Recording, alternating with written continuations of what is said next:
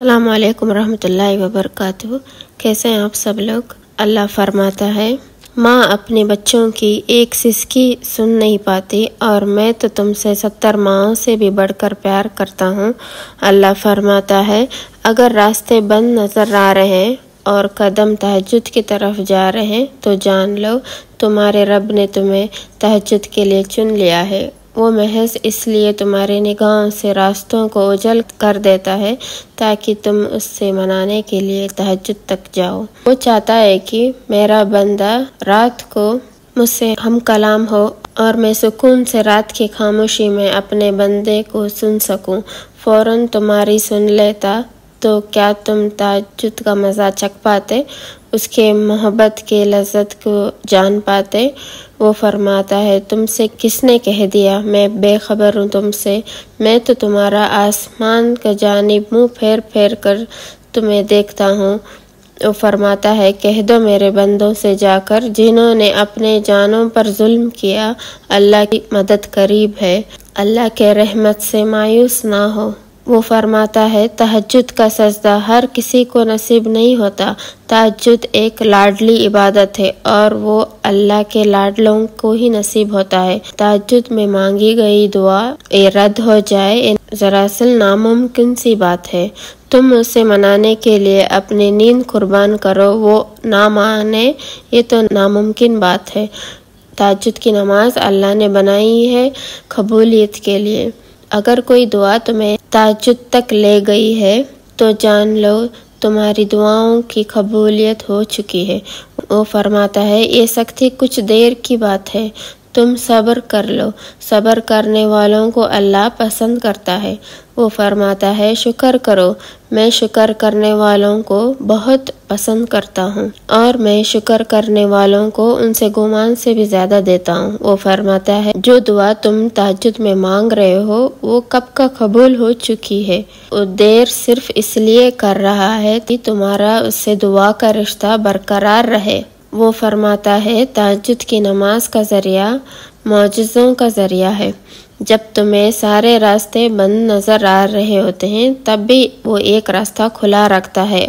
اور جوانی میں تم تہجد پڑھ رہے ہو، تو تو بڑھاپے میں مجبوری سے نہیں پڑھو گے جو جوانی میں تہجد کا نماز پڑھے، وہ جو نماز واجب نہیں ہے، پھر بھی وہ واجب سمجھ کے پڑھتا رہے کہ نہیں، مجھے یہ پڑھنی ہے، تو آپ سوچے خدا کا فضل اور کرم اس کے اوپر کیسا ہوگا۔ خدا خود کہتا ہے، بندہ نیند کی حالت میں تہجد پڑھ رہا ہے اور اس کی نیند کی وجہ سے اللہ فرماتا ہے، جو بھی اس نے مانگا ہے، میں نے اسے دیا ہے۔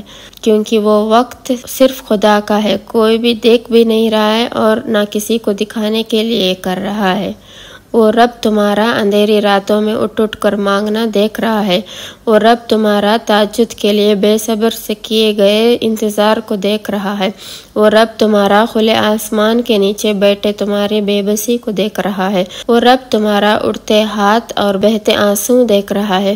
وہ رب تمہارے سجدے دیکھ رہا ہے۔ وہ رب تمہارے سسکی سن رہا ہے اور تمہارے صبر میں گزرے ہوئے وقت کو دیکھ رہا ہے۔ وہ سب دیکھ رہا ہے جو تم دنیا سے چھپا کر اس رب کے سامنے کہہ رہے ہو۔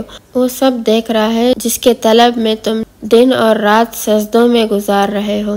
جس چیز سے دنیا نا واقف ہے، اس تڑپ کو تمہارا رب دیکھ رہا ہے۔ جو تم کسی سے کہہ نہیں سکتے، وہ رب بنا کہے سمجھ جاتا ہے۔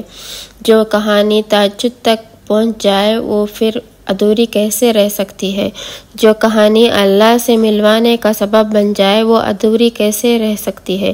جو کہانی اللہ سے ہاتھ اٹھا کر مانگنا سکھا دے، پھر وہ ادھوری کیسے رہ سکتی ہے؟ جو کہانی صبر کرنا سکھائے، پھر وہ ادھوری کیسے رہ سکتی ہے؟ جو کہانی توکل کے راہ پر چلنا سکھا دے، پھر وہ ادھوری کیسے رہ سکتی ہے؟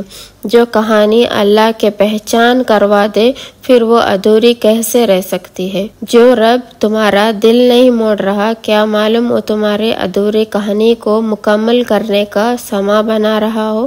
جس ادھوری قصے نے تمہیں اللہ کے پہچان کرائی ہے، وہ قصہ مکمل ہوئے بغیر کیسے رہ سکتا ہے؟ پھر کچھ نا حاصل قصے ہیں، اپنے حقیقے رب سے ملوانے کا سبب بن جاتے ہیں اور وہی قصے اللہ کے حکم سے مکمل بھی ہو جاتے ہیں۔ یقین رکھو یقین رکھو کہ تمہارا رات میں اٹھ اٹھ کے مانگنا ضائع نہیں ہو جائے گا۔ یقین رکھو تمہارے تڑپ اور آنسو ضائع نہیں جائیں گے۔ یقین رکھو تمہارے سجدوں کے علاج رکھی جائے گی۔ یقین رکھو تمہاری دعائیں تمہاری نصیب بدلے گی۔ یقین رکھو، تمہارا رب تمہارے تمام دعاؤں پر راضی ہو جائے گا۔ یقین رکھو، تمہارا رب ناممکن کو بھی ممکن بنا دے گا۔ یقین رکھو، تمہارا یقین ہی تمہاری دعاؤں پر کن کی مہر لگائے گا۔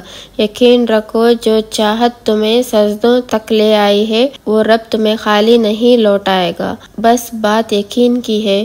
جس یقین سے تم اس رب کے آگے ہاتھ اٹھاتے ہو، وہ اس یقین کو کبھی بھی ضائع نہیں کرے گا۔ وہ کن فیکن کا مالک تمہارے لیے معجزے ضرور کرے گا، انشاءاللہ۔